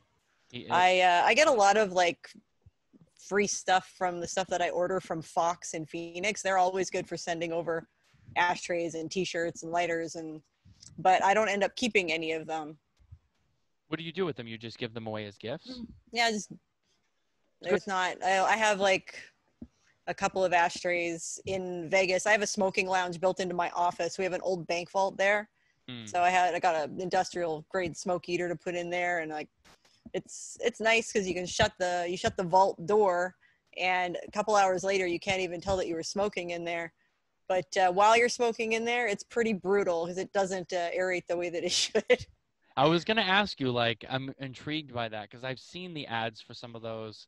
I haven't seen one in person myself, but the, that box you mount on the wall, and then it's supposed to filter out all the smoke. I was, I was, yeah, I was gonna ask you how well that actually works. Is it really worth it? pretty good. Um, like I'll I'll smoke a cigar like for I have an apartment built into my um, office, Hmm. so I like sleep there when I'm in Vegas, which is only probably a handful of days a month right now. And I'll smoke like everyone will go home. I'll go sit in the vault, smoke a cigar, turn on the um, the air purifier, leave the door shut all night, come back in the morning. It's fine. Wow, that's pretty. Uh, that's that's pretty cool. I'm gonna have to keep that in mind for. Uh, and I use one of those ashtrays that has the uh, filter built into it, so it pulls the smoke down through the filter. Yeah, that's interesting. Yeah, those are cool too. Yeah, so I mean, I've seen, I've actually seen photos of, of your uh, and some short videos of your bank vault slash little hangout room you have, and it is it is cool. I I love the concept. I've I've seen you really get down and party in there, even by yourself. That's the one thing. You're, you're not afraid to be like, I want to party, but there's no one around, so I'll just party by myself. And you still seem to have a great time. Like you don't need really anybody to have a good time, which is uh, No. things I love about you. You seem to really uh, just enjoy as you navigate through life. Um, as I watch you on social media. Um, I'm leaving social media. The only I went back onto Instagram because of lockdown, but I left Facebook six ish months ago, and I had to wean like I actually had to wean myself off of it. I realized how much time I was spending on Instagram and Facebook and Twitter, and and then there's more. It's like I can't keep up. I'm too old for TikTok. I'm, but the I like I was spending way more time on social media than I was in real life. Uh, when I looked at, I started tracking it on my phone first when I was thinking about changing my behaviors. And I was spending hours and hours and hours on social media. So I set like a timer on my phone so I could only go on for a couple of hours a day. So I kind of had to like choose carefully what I wanted to do. And then I set my phone to turn off completely at 10 o'clock and not turn back on again until seven in the morning so my uh, my sleep habits got significantly better. I started reading more. I got more accomplished at work. And then the pandemic hit right when i left everything and i went back onto instagram because that was really the only way to see what other people were doing. Yeah, but uh, i'll be i'll wean myself off again po- uh, leading up to we're actually going to go we're going somewhere. I'm taking my kids to cancun. I can't wait. When are you going to Cancun? uh, july 19th Oh, that'll be there's a new uh, dreams resort there that we're gonna go check out for a few weeks Hmm. Yeah, you you um you actually go to you go to Cancun frequently, don't you? i was supposed to be um, i was supposed to travel for a full year starting at the beginning of june uh, i teach yoga through a, a group that books instructors at resorts for free holidays Hmm. so i mean i pay a very moderate amount to be able to bring my family or my husband or friends with me and you know for a vacation that most people are spending $5000 a week on i'm paying like less than 10% of that for my entire family to be there. Hmm. so it's it's cheaper than rent. So i'd planned to just like bop from resort to resort to resort all year. It was already booked it was already paid for and now i'm having to push everything. So my i was supposed to be in puerto vallarta right now surfing with my kids. We had like an eight week trip booked there. Had to push that. So now i have my next summer booked out already but any uh, any of the dreams secrets breathless uh, i think zoetry is in their line as well I have teaching privileges at all those resorts, so I just kind of look it up and decide where to go. So I'll be teaching at the they have a new Dreams Vista that just opened in Cancun and it's brand new. And they can only sell the 30% capacity right now, so there there won't be anyone there. There'll be no lineups. I can't wait. Yeah. Yeah, that's uh I I wanted to I there's so many places I wanted to travel this year.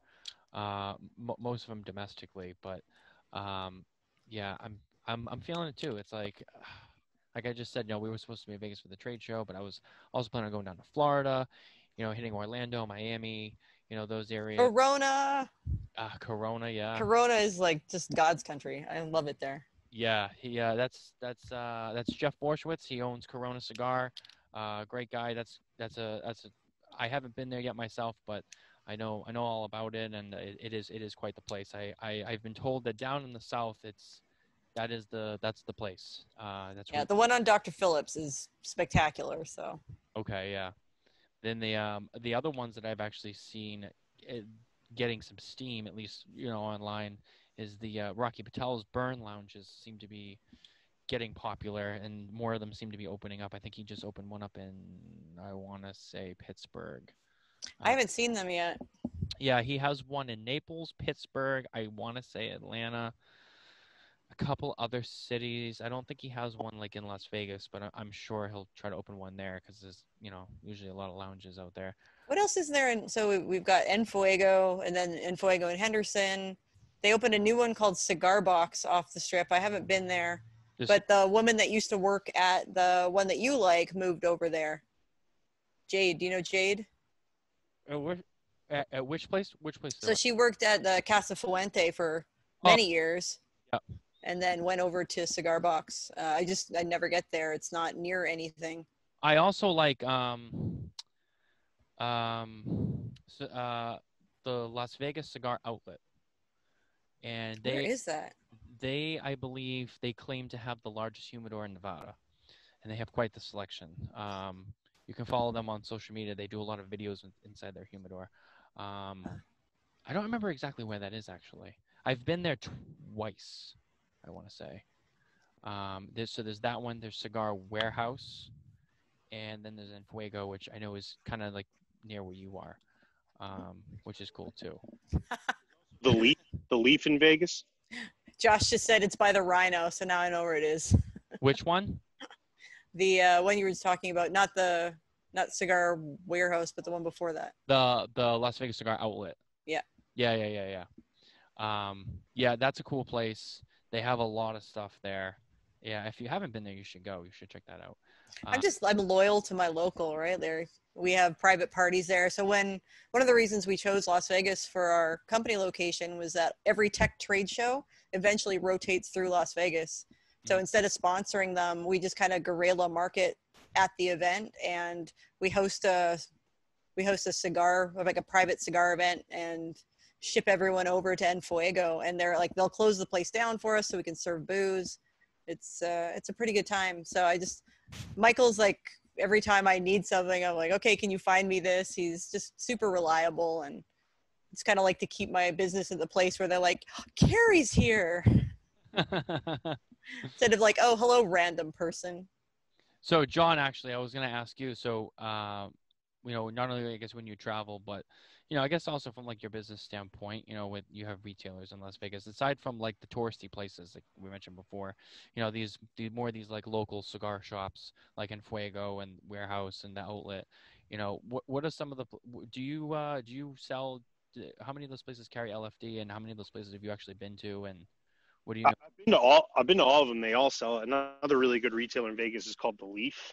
Okay, um, that does a really good job too. Um, Cigar Box is awesome. Um, I'm- most of the time, honestly, I I'm kind of like curious with this, where like the um, I really like the Davidoff Lounge just because of the location. That circular bar is great for people watching. Um, I also go to the Casa Montecristo quite a bit at the um, at Caesar's Palace because we have a good connection with the uh, the owner of that store, um, and they're they also own the Cigar Box as well, I believe.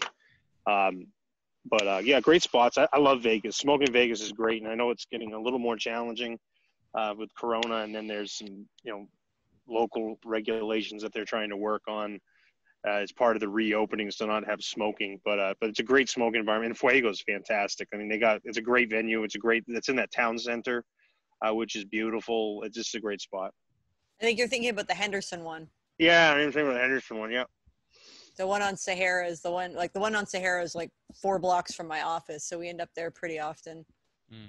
It's a little, uh, it's a little less foofy. Like uh, the one in Henderson is, you know, beautiful club chairs, and I think it's better ventilated though than the one on Sahara. But they have poker games uh, at the one on Sahara, and they're quite popular. I uh last time I was there, there's like a bunch of men that hang out, like retired men that hang out there every day, and they watch Family Feud and they play Family Feud, and it's like it's competitive. It's competitive Family Feud. It's like two o'clock to four o'clock in the afternoon is like peak time. Yeah, who would have thought that Family Feud would have been like the thing at a cigar lounge? Like everyone loads in, they're smoking, and then they get off. Normally, like you hear like cards or like dominoes. That's like the game. Those are the games of choice when you're you know in the cigar shop where you can play games. A Family Feud, that's a new one. I haven't heard that. That's interesting. I like that idea. I- should try. You know what, Jon? I should propose that to Garofalo and be like, you know what, you should host a Family Feud viewing time in the lounge. I don't know if he'll go for it, but uh, This thing in cigar lounges, everything gets competitive. You know, one of the big ones I do with a lot of lounges, Jeopardy's always on. Uh, that's another one. Jeopardy, Family Feud um, is huge. Uh, Wheel of Fortune a little bit. Um, but any of those things, it's just there's tons of stuff that, that these again, as people try to find things to do, and then it ends up being really fun, and then it turns into competition. I know that they they used to have, uh, you know, when they had the the club and they had the card table at at two guys, you know, in Salem. I've heard the stories of how you know they had that and it was great, but then people just started taking over and it became really cliquey, and then they were like, all right, we got to get rid of the card table because people just camp out in here all day, and it'll be like the same five guys from open to close. And so, unfortunately, you have people, you know, that will do that and kind of take advantage of the the situation with the lounges and you know the availability of, of space and you know letting other people in and stuff like that you get the the campers so to speak who just camp out in the lounge all day What's the best lounge that you visited? Like, what's your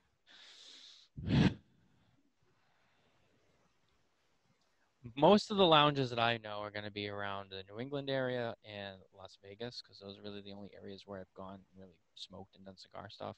As i said i was supposed to do a whole florida trip and do a lot of cigar stuff down there but as much as i love casa fuente like i love that like because like i like fuente and all that but in terms of that lounge experience, I mean, I my local shop is Two Guys Smoke Shop, and I love them to death. And that's where I, you know, I, I do the Ashholes podcast. And I buy all my cigars there, and I'm very loyal to them, and I, I have a really good relationship with them. But in terms of like that, going out and getting drinks and hanging out, I gotta say for me, it's gotta be Twin Smoke Shop in Londonderry because it's it's not it's a little bit more low key. It, it's it's got the it's got the right vibe for me. You know, Friday nights, you know, they got the band in the corner. You know, they have an amazing amazing selection of whiskeys and bourbons and all that stuff too and i like that. So it's it, it, great drinks good smokes good atmosphere good uh, good people uh, really comfortable plenty of space. Um, that's that's kind of like my favorite spot to be. Yeah like when i go to las vegas yeah there's places i like to hang out in but my favorite i would say would be the, the, the 724 lounge at twin smoke shop. That's got to be my favorite what what would be your favorite? Like out of all the lounges, what would you say your favorite is? the lounge I had the most fun at was like a like this a shitty bar in San Francisco. They're, like they think there's only two places that you can actually smoke in San Francisco.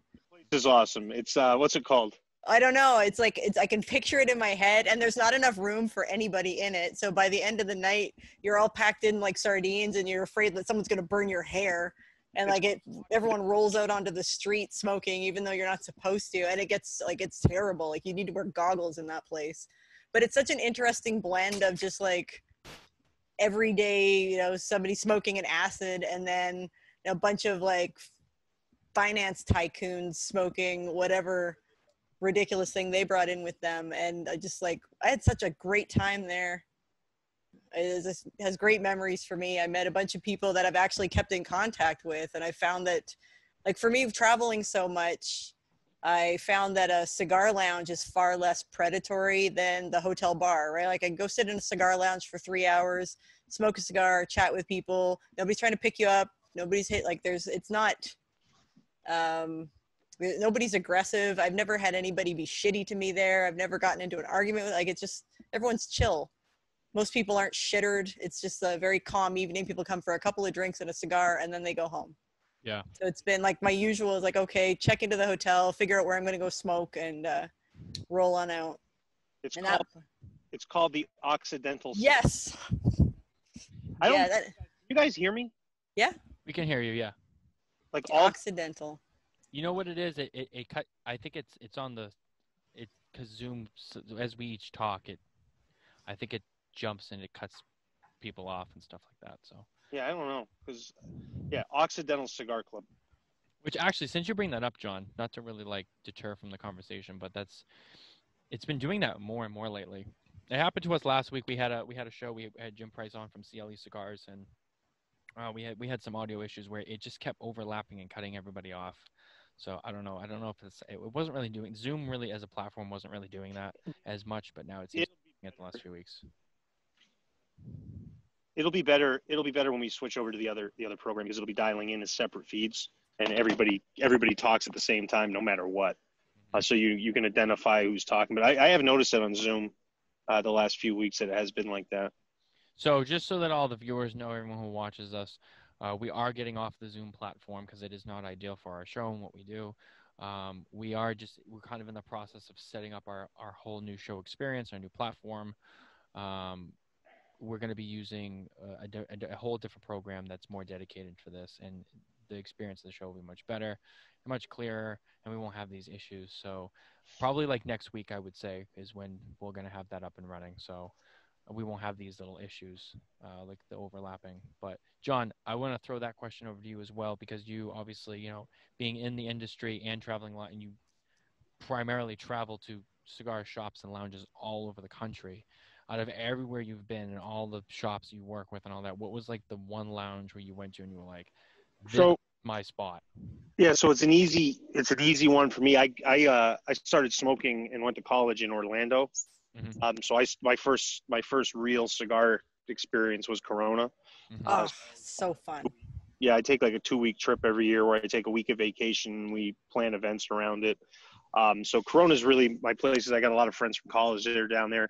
Um, you know, I've had people that have worked for me that, that I bought cigars from when I was in college. Uh, so Corona for me is naturally my, my favorite place to go, uh, just cause it's where I started smoking. Uh, in the Northeast, you know, I, I really enjoy two guys just because of the relationship. Same thing that you have there. It's a great spot. It's, it is Stogie heaven, and uh, and I also spend a lot of time at Twin Smoke Shop, the, the Jack Daniels 724 Jack Daniels bar. Um, but yeah, for me, it's easy. Corona Corona's a place that I started smoking, and I when I'm there, it's it's like vacation. Uh, it's relaxing. It's enjoyable. It's so much fun. I know everybody there. Uh, yeah, I get to see old friends. Uh, so it's yeah, for me, it's an easy one just because that's where I started smoking. You know, almost 20 years ago.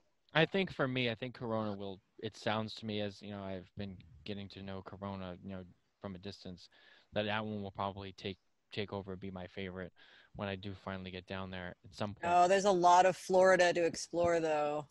I, there's, Like, if you haven't been to Tampa yet, like Tampa is just a cigar city. It's everywhere.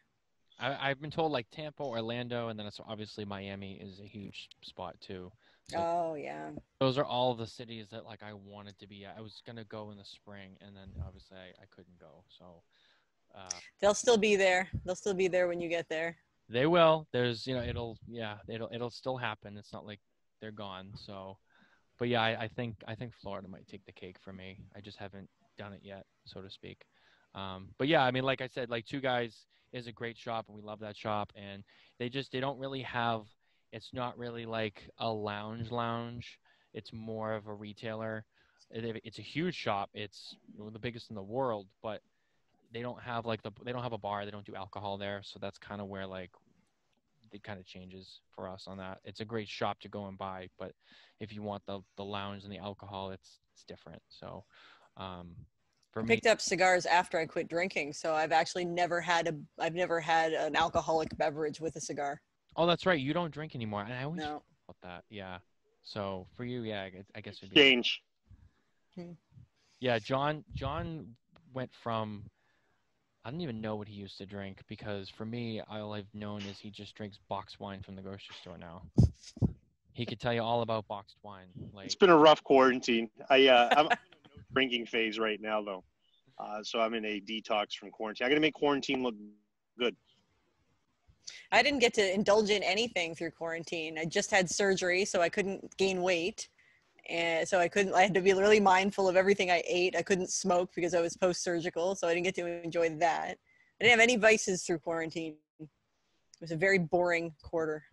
my quarantine was interesting because I I met my girlfriend and that was cool and that was and everyone was like how the hell did you meet a girlfriend during quarantine and well we met online and then we just made it work we just zoomed for most of our introductory period and then eventually we started meeting up and hanging out and then like now everything's kind of normal for us because we see each other all the time but so that happened i lost weight because i was going through um, a little bit of a health health change myself i i, I had some some medical issues last year and I, I had to change my diet and lose some weight and just kind of get into a better condition. Uh, so I actually lost weight during quarantine. Most people are like, I gained weight. So they, everyone was jealous of me because of that. Um, and I ended up smoking more because I wasn't working for 10 weeks. I was, I was home. I could, I was laid off from work, obviously, because, you know, our, our industry got all shut down. So I was at home. So I was like, well, I'll smoke and do all my cigar stuff. So I started smoking more, uh, which was kind of fun because I just took a lot of that time to try new stuff um, that I hadn't had before. Just started writing like random stuff online, and I would just try like a lot of stuff I hadn't heard of before. Uh, found some good stuff. Found a lot of not so good stuff that I couldn't really finish. I got like halfway through, and I'm like, yeah, I'm not wasting my time. Um, so yeah, that was my quarantine experience. And then me and Jon started doing this, and I got to watch Jon experience new box wines every week until we got to a point a few weeks ago where he was like, yeah, I can't do it anymore with the boxed wine, and he had to kind of retire the boxed wine. But I was over here drinking like regular wine, and then he pull out like the, like I don't even know like any of the brands, but he'd pull out like a like a carton of wine. And he'd be like, "I got this beautiful Pinot Grigio," and he'd crack the box open, and I'm like, "All right." You got to like kind of hold it and figure out how to use the little spout thing, get it into the glass without everything spilling. My Yeah. box wine days are over, but I remember them fondly. problem with the box wine was just the amount of consumption because it's it's like five bottles per bo- per box. You could just go to town and you have no idea what was going on, so it started to become problematic. I'm like, I just can't drink this large amount of this garbage wine. Uh, so I just switched back to bottles. It was pricier, uh, but it, it was better for my consumption um, and just more enjoyable. It was just a more sustainable thing. But there was a good two months where it was box wine every day. It was mid March to April when you know things were rough and it was still snowing up here and there was no hope. Not really a sangria season. No, no. So you know, it's it's. I switched over luckily, conveniently, and at the right time, I made the right decision, and it worked out. Yeah, I, when he first told me he was drinking boxed wine, I mean, he was doing a lot of the smaller like little boxes, but I just remember joking with him like, "What do you got? Like a whole bunch of Like a juice box. yeah. There was we had that were kind of like the size of like you know the coconut water that comes in the cardboard like carton. Mm-hmm. He was drinking a lot of stuff that was like that size, but then I remember joking with him like, "What do you have? Like a couple of cases like Franzia wine over there that you're just like cracking open every night and just putting away like it's your job." Now, aren't they marketing like? I think they're moving a lot of wine to that kind of packaging now. Like I've seen a lot of um, less, um, I don't know, less traditional, less less classy looking, but apparently it's better. Like the screw top, for example, is better for the wine. Like it, it's better for the wine than the cork is. Well, yeah, because you can reseal it. I mean, once you pop the cork, you pop unless you stuff the cork back in the bottle. I mean, it's open, the air it begins to aerate, and it changes the profile of the wine. But just from a long-term storage standpoint, does the wine not stay? Not fresher is the wrong word, but would the quality of the wine not maintain better without the porous nature of the cork? It does, and they make some higher end wines that come in packaging like that. Um, you know, essentially, when you open a bottle, even if it's a twist top or a cork, uh, once air is introduced to it, it's going to start to degrade. The concept with the box wine is that with the little spigot on the bottom is you're not introducing any air to what's ever in the bag on the inside. Um, so it does keep it a little better. And there are some higher end, you know, better quality wines in boxes. well. My grocery store just doesn't have. I said I'm in the middle of the sticks up here, uh, so it was it was inexpensive, headache inducing wine. One of the interesting things about wine, I guess, and, and freshness and stuff, um, my sister works for a marketing firm here in Boston, and one of her clients is Coravin. And I'm not sure if you guys are familiar with Coravin. Very, very familiar. Carrie, have you heard of Coravin?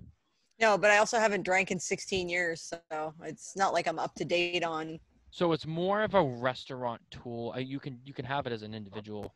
They're a little pricey for an individual. It's so it's it's more of a and it's more of a restaurant thing because it's a device that actually punctures the cork in the bottle and allows you to pour out a glass and then the, and then the needle comes out.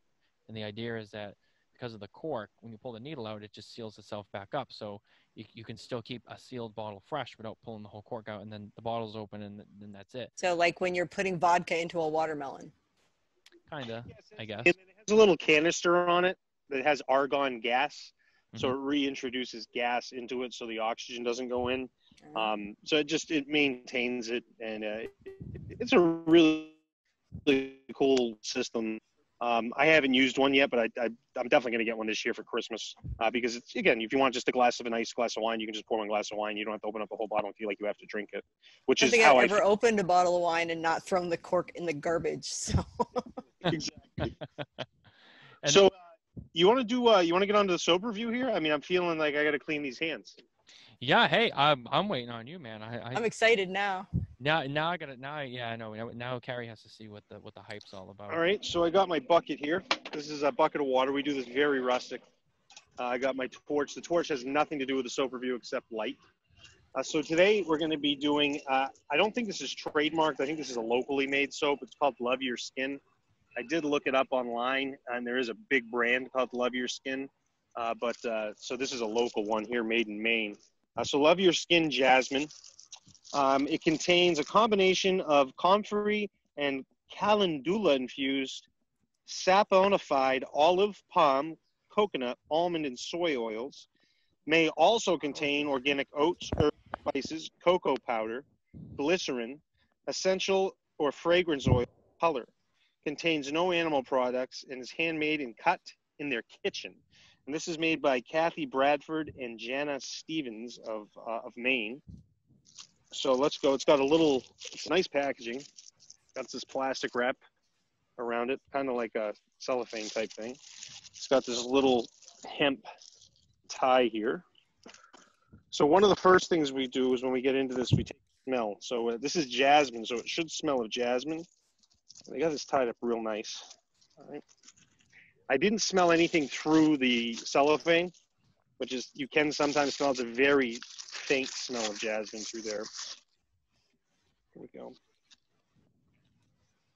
Not overwhelming, but I, I'd give it on the on the dry scent here. I'd give it about a six out of ten in terms of flavor, uh, scent intensity. Um, and it's it's kind of waxy. Another thing, I you know don't take my fingernail here. Um, it does scrape off a little, but it's it's um, when you scrape it, it's a, a soft little crust essentially. Uh, but it's, it is a little oily. Uh, it's not overly oily, uh, but you can feel that you've touched something. A little bit of stickiness. Um, so, sense of jasmine definitely. Uh, one thing I like to do is wipe my hands first before I get into the soap. So we're gonna wet here. This is water from Lincoln, Maine. Um, this is famous Lincoln, Maine water. It goes into water uh, that goes into bottles of Poland Springs water. We're one of the reservoirs for that. So we get nice and wet here. So right now we're getting, we're going to talk about suds. We're going to talk if we see if we get any foam. We're going to talk about hand feel and coverage. So right now I'm not getting a lot of foam or suds. It's a, it's a lot of, I'd say it's, it's slippery, getting a lot of slippery, a lot of oil, uh, but not overly oil. It's just like a light oil. So rub it up here a little bit and then we'll lather with my hands. So very slippery, much more slippery than the holiday soap. Um, this definitely feels like a homemade soap. It's not a lot to it in terms of, you know, a lot of uh, commercial soaps add things that create extra suds and that feeling of grittiness on your hands. This is a very clean. You can see here, there's not a lot of, there's no suds really. Uh, jasmine's faint. Definitely smelling some of the oils. But on a suds level, not a lot, which I don't mind. Uh, it's not messy. It's not all over the place. A little more wet here. Adding a little more water. It's a very clean. Uh, it's it's transparent. Uh, the bubbles are like transparent. It's not uh, that traditional that white lather that you get. Uh, so it's a natural, kind of a natural color on my hands. So give it a little bit more here. A big thing with the soap too is after you rinse it off, uh, the intensity of the scent. I don't like it to linger. One of the issues that I have with soaps is sometimes it lingers and you wash your hands. Say you're going to eat, and the only thing you're tasting or smelling is the scent that's in there, like a hand sanitizer with aloe vera. Uh, you you put that on, and then all you smell is aloe. Uh, so I like it to to be fresh and clean, have a little bit of the scent, but not have it overpower when you go back to doing normal things like smoking a cigar or eating. Uh, but this is super clean. Like it, I, I kind of be honest with you, I don't even know if I have to put my hands in water um, to do this. It's definitely taking off some of the black soot I had. Uh, it did a pretty good job of that. Not on the under of my hands, but the under of my hands are a little rough. Um, but no, it's pretty good. Like it's clean, very clean on the hands. So let's take this bucket down here.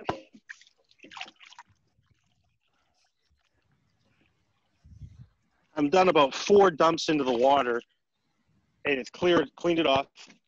Um, before I dry, um, the oil's gone, the slipperiness is gone.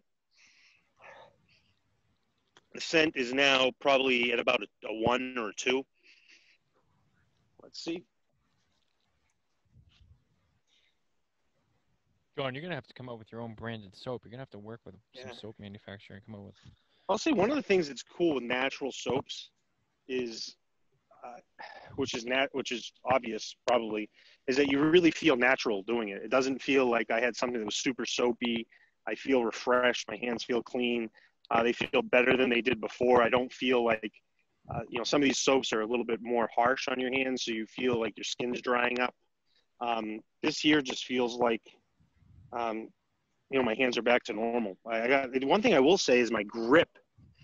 Um, it definitely cleaned off uh, the cleanliness. It definitely cleaned whatever any dirt or anything I had or sweat or anything on my hands because uh, there's kind of a a natural. I wouldn't say stickiness, but there's a and not a film. There's, there's no film on my hands because it feels fresh. The air on it feels good. Uh, but my hands are kind of refreshed it back to a natural state where I just have a naturally good, you know, good feel. Yeah, it's about a one on the uh, the scent. Um, have I? I've been rating this out of ten. I can't remember what I gave the holiday soap. Um, I should have written that down. What I give it like a six nine or something like that, seven one. Seven one. I, I definitely like this better. I think it's clean. I think it's clean. Uh, there's not a bunch of soap suds all over the place, but I still got the. I still have the feeling of being clean. I'm gonna give this a seven, uh, seven eight. Wow, seven eight. Really? That's kind of high. Yeah, we're gonna give it a seven eight. I, I think it's a really good soap. Um, I said I like the natural side of it. I think I'm gonna be more keen on natural soaps. Another thing I like about it too is, in nature of the soap review, there's not a lot of suds on the soap. It's kind of like what it was before, and the fact that it doesn't have this huge stickiness to it when I put my hands on it. I, you know, I was saying I was like, oh, I don't even have to really dry my hands off. Hmm. Um, it makes it easy to transport the soap after, you know, move it, you know, move the soap or take it to a different area because it's just not all sorts of suds. I don't feel like I have to wash my hands again or put water on my hands again once I touch the soap. So yeah, seven, eight. Uh, I'll mark that down. The um, the homemade in Kathy Bradford and, and Janice Stevens kitchen. Uh, Love your skin, Jasmine. Uh, seven, eight. Wow. So that's it right there, Carrie. It's this is Jon in, in the soap reviews. I like this. I see. I think I need like a an extended soap review to decide like, is this a soap that we use for showering or just for washing our hands? Uh, you know, and I, I, I'm with you on that. I, I'm interested on this one how it would feel on the rest of the body because it felt great on the hands. Uh, so I, I actually may shower with this tonight. Maybe I'll give it a shot and see how it goes. It'd be worth, uh, you know, worth the uh, worth the try on that one. But in regards to hands, I like it. Um, I definitely like it. I don't feel filmy, but I, I do know that I've washed my hands and uh, it just feels good. Yeah, that was the other thing I was gonna say. Is you know, it, there's a difference between washing your hands and actually showering with soap. So, it, I guess it would really depend on how you plan on using the soap, as uh, as you you know rate a soap. You know, is it better for hand washing, showering, or bath? If you take baths, you don't strike me as a bath kind of guy, though. Yeah, you never know. I'm not a big bath guy. I'm a hot tub guy, but um, yeah, I'll take a bath every once in a while. This is definitely not a bathing soap by any means. This would be a I think this would be a good soap to bring with you on the road or bring with you into the wild. Uh, you like this would be a good soap to use in a river or a lake um, because it's not a bunch of suds uh, all over the place. Uh, you know, it said it's it's natural soap, so it's naturally made, all natural ingredients. Uh, so you wouldn't be introducing anything into the wild that wasn't natural. Um, so I, I think this would be good for showering. It, it, for me, it's just very clean. I was I was surprised how clean it was. Not a lot of suds, um, but it was still had you know good coverage. Um, you know, I, I again, I'm looking forward to trying some more natural soaps. Uh, and Jon, I have one question for you. Here. Could you rub your nuts with this soap and would it burn? That's all I got to know. it wouldn't burn at all. Um, there was no uh, stringent. No, I had to know. yeah, I mean, I guess it's That's the real Maybe- question, right? see on any part of the body. But have you ever used a soap that burned you before? I have. Yeah. Where are you finding this burning soap? Well, soaps that have like Cheap soap. oils or things like that in it. Any oil that that has a kind of exfoliating sense to it, um, or you know, if you take a tea tree and use it in your hair, Mhm. uh, you know, anything with tea tree oil has some intensity to it. Uh, so you want to be careful where you would put something like that, or or how long you would leave it there. I mean, this was this would be fine for any period for any part of your body. It was very uh, not a lot of no irritants to it at all, no scratchiness after, no itchiness. Um, so nah, this would be perfect for any body part. Okay. That covers the soap review.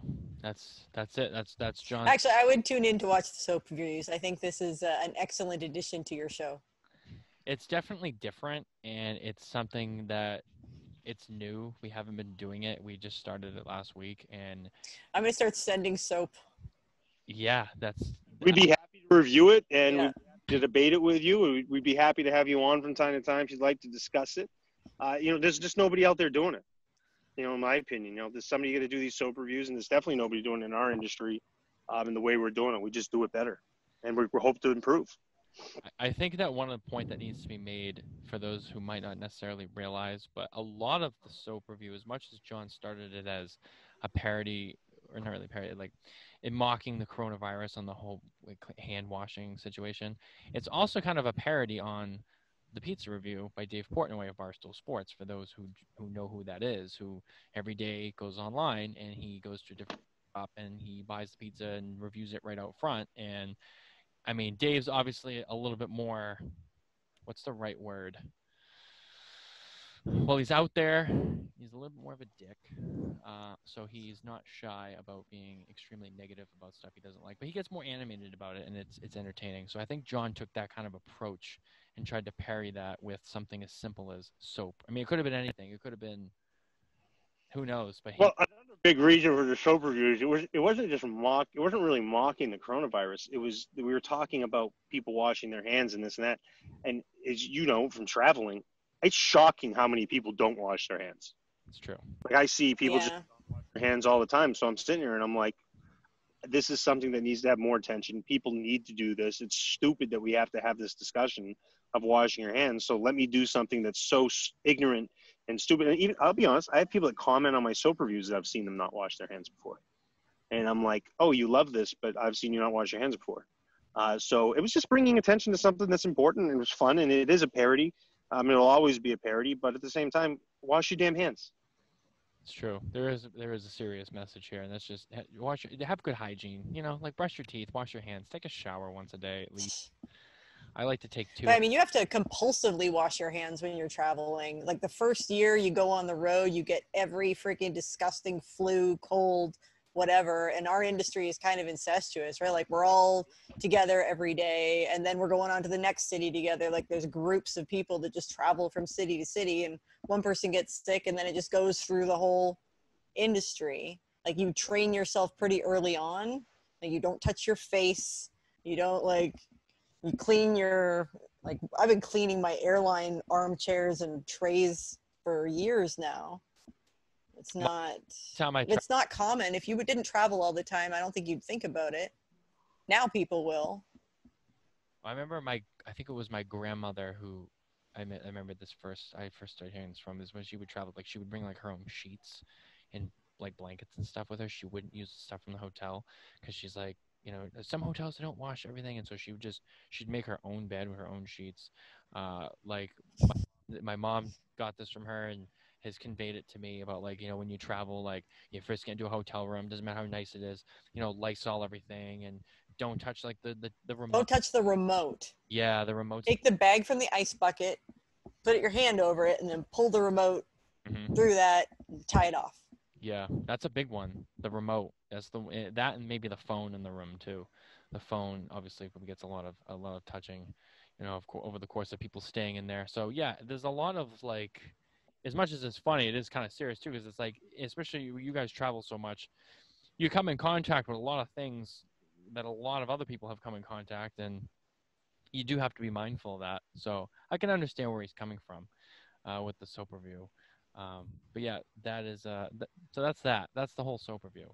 Um, and like I said, I think he's going to be writing soap reviews online now. So we look forward to those as well. Those will uh, definitely be an interesting addition to what we got going on over here.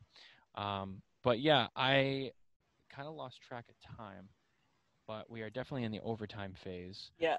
Um, I am plugging along nicely, not too fast, but nicely through my second cigar. Um, I generally smoke a little faster. Uh, not really specifically because of cigars. I, I tend to do things really quick just because that's how I am. I have a little bit of ADD, so I go through things quick. So I am more of a faster smoker. So I'm already th- almost through my second cigar. How far are you, have you finished your uh, cigar you had going over there? Uh, I got halfway through. Yeah, I just honestly, I have to really moderate right now. right. The uh, idea of like just the idea of getting sick, it just doesn't appeal to me at all. Yeah, I uh, over here, you know, we uh, obviously everyone's dealing with the coronavirus and all that fallout, and then the whole the state of the world right now with that. But you know, and where we are, you know, we have higher risk people in the house too, so we're we're really nervous about it. We really don't want to get sick. I hate being sick, and I'm not even shy about it. I'll be honest. I'm the biggest baby when I get sick. I don't. I am miserable and I'm very cranky, and I don't like to be touched or bothered. And I'm just like I just basically lay there and in torturous pain in my mind mostly and just being like i hate this you know some people deal with being sick i feel like better than others for me i'm one of those people i'm like uh, i just i hate the world when i'm sick so yeah i really can't imagine getting this coronavirus right now and having bad effects from it because i will be uh, i will be absolutely miserable and then i'll be all angry that i actually got it um, another statistic I hope that I have like I have friends who te- like we all went for antibody tests hmm so that we could all start hanging out again. And some of my friends who I was kind of partying with in like we went to a day club, we went to a strip club, we were sharing cigars, we were sharing glasses, and a couple of them test had um, positive antibody tests. So I was kind of hopeful that I'd already had it and didn't know it, but no, not yet. Not yet. Yeah, I've been tested once. I had to be tested uh, at work because of my situation and you know working in Major League Baseball facility. You know when the camps opened and everything started to happen uh, about two weeks ago. You know when I had to be tested, and I think I might even have to be tested again, probably a few times. Uh, we we had a bunch of meetings and we were told, you know, like there could be some very frequent tests. Anytime someone just doesn't feel right, even if they don't have it, we're going to test everybody every single time. Um, luckily, it's good though. I'd like I'd much rather work for a company that was concerned about my safety and my coworkers' safety and the Yeah. client's safety. yeah, and it's especially you know with with the players too. They don't want to get down to the players, and then the whole team gets it, and then they have to shut it all down. So, you know, it's it's keeping us safe. It's keeping them safe. Obviously, um, the test that we got, I don't know. I I heard through the grapevine that the test we got was different than what like the team got. The team, the team, the, the method of testing that they had was like a spit test, which I hadn't heard of before. I had been hearing about the one where they jam a long Q-tip like all the way up into like your brain. Um, my best friend had that one done where they they jammed the long Q-tip up into his head, and then they told us we were getting tested, and I was like, oh, no, I don't want to deal with that. And they were like, oh, it's not that bad. We just do a short little swab just in the just in the front of your nose, and that wasn't that bad. But so luckily I haven't had to have the long the long test yet. But Apparently, also there's a there's a spit test out there for the coronavirus too. I haven't really seen that or heard about it, but apparently it's out there. So, yeah, here's to a lot more coronavirus testing probably for me. Um, Jon, have you you haven't had to get tested for yet, right? I- I haven't had it yet. There haven't been uh, really up in my little town here. There really isn't. Um, there hasn't been any cases, Yeah. and the state of Maine's pretty low in general. We're pretty socially distanced regardless. Um, so there just hasn't been, and I haven't done any traveling yet. I was going to have one when I came back from Atlanta next week, uh, but that trip's been postponed, so I won't be doing that. But um, so we'll see where that goes. But so I don't, I don't anticipate having one. Um, if I start getting on an airplane sometime soon, doing some trips, I may, but we'll see where it goes uh, from there. But it'll be a case by case basis. It was it was interesting when uh, Nick Perdomo was up here a few weeks ago, and I was with him. We were talking about it, and he said that he thought his son Nicholas, uh, Nicholas Perdomo, uh, who works uh, Perdomo Cigars, is uh, he's like I swear he's like Nicholas. I think had it like earlier in the year, like in February, when it first really started to go global, and he goes because he never gets really sick, and he when he does, he doesn't really miss work. He goes he was laid up at home for like four or five days and he was just like in the worst condition I've ever seen him. And he's like, I swear, I swear he had the coronavirus. But um, I think there's definitely going to be a lot of that too. Like Carrie was saying, there's there's people who could have had it, didn't even know, and they have the antibodies, and they're you know maybe that's why they haven't gotten it, and maybe that's why there's a, a percentage of the population that hasn't like gotten it and shown signs of it because they maybe they had it, whether they knew it or not, or they had symptoms or not. Now they have the antibodies. So I mean, I'm not, and I'm not too like up on the science of it, so I don't know. Like, if you have the antibodies, is it? I wouldn't. s- It doesn't mean you're necessarily immune to it, right? You just have a higher immunity to it. If you Don't would, know. They don't. It means you've been infected with it, Yeah. and your body fought it off, created the antibody, and then. Yeah. or you could. But it's not like uh, it's not a common test, and they're two like they're two hundred dollars, so it's not like everybody's gonna run and get an antibody test unless they have a reason to do so. yeah, I was just curious and hopeful and thinking like, okay, well, I'm going to travel way more if I've already had it. But since I haven't, I'm wearing a mask and behaving myself. yeah. And that's really all you can do right now, and just, just be careful and be cautious, and and just try to you know, do the best you can not to. Wash your hands. We have a good soap to recommend. Yeah, wash your hands. It's made in Kathy's Kitchen in Maine. You'll like it. It's actually available. This was given as a gift to my mother. So I don't even know if this is something available. I've never even seen it before, and it was it, my, it was given to my mother as a gift, and then it was- ended up on my it ended up in my bedroom. Uh, so it was the first soap that I saw, and it's been sitting there for about six months. So I was like, "That's getting reviewed today." So, but I think they could sell it. Should get on that. I think we have to look up recipes now. We're going to start making our own. That's actually a good idea. If anyone could do it, it'd be Jon. He, I, I could uh, next week he'll be like, I found out how to make it, and here's my first bar of soap I made from from scratch. That would actually be a good idea. But um, we are getting towards the end of the show, so we are going to be wrapping this up soon.